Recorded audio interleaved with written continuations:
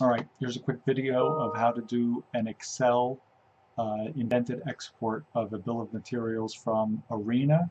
Um, I'm going to go, uh, so this is the dashboard, but regardless of what shows up there first, I've obviously just run through this a couple of times to make sure I'm not uh, screwing it up on video.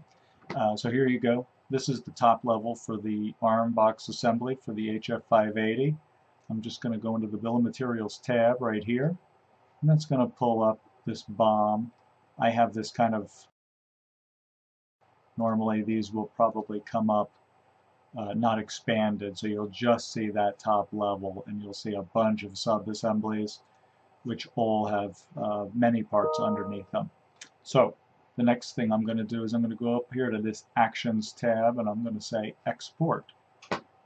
Now I'm going to switch this to Excel and when I select BOM export these all light up.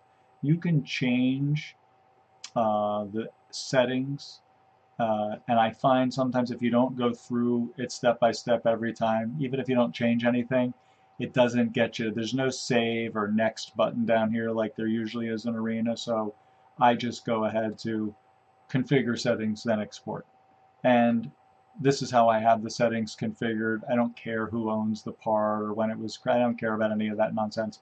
But I do set it up explode it, where it's indented, right? Every part is going to be shown, uh, not flattened, not single level. Then I go down here. I'm going to configure the views. Again, you have some options to change whether you're going to see the number, the name, the revision, the, you know, it's a lot of stuff.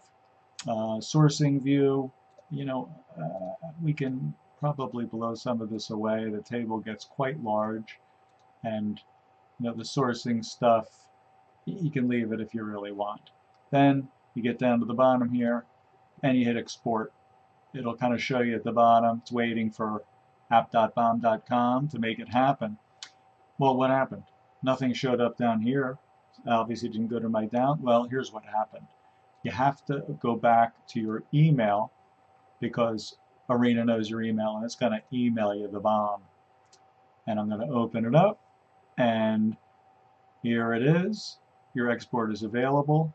And if we shoot back over here to Arena, let's try to do this uh, as elegantly as possible. I'm just going to go back to the home screen and it's going to show me all of the items that are available. So zip format, this is the latest one that I just did. 119, oh that's California time I think. Uh, it's not 119 here, it's 420 in New Jersey. So now we're downloading it, scanning it, it's going to come up in a zip file. Once that's done doing its biz, I'm going to just drag it out of here. I'm going to make sure that I have a look at everything that pops up here. Again, that should, and here's what comes out. Item number and name. It's going to have the revision. Also remember, a lot of these up top here are HF 47570 parts. And then we just go down. Uh, wrist ball assembly. This is also new. Uh, I've made some modifications for the 580.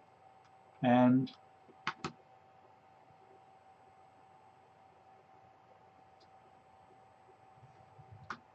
And there you have it.